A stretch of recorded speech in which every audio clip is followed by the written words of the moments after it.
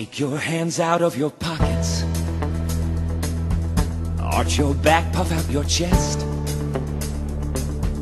Add some swagger to your gait, or you'll look like a masturbator. Fix your posture, then the rest. But I am a masturbator. We'll fix that.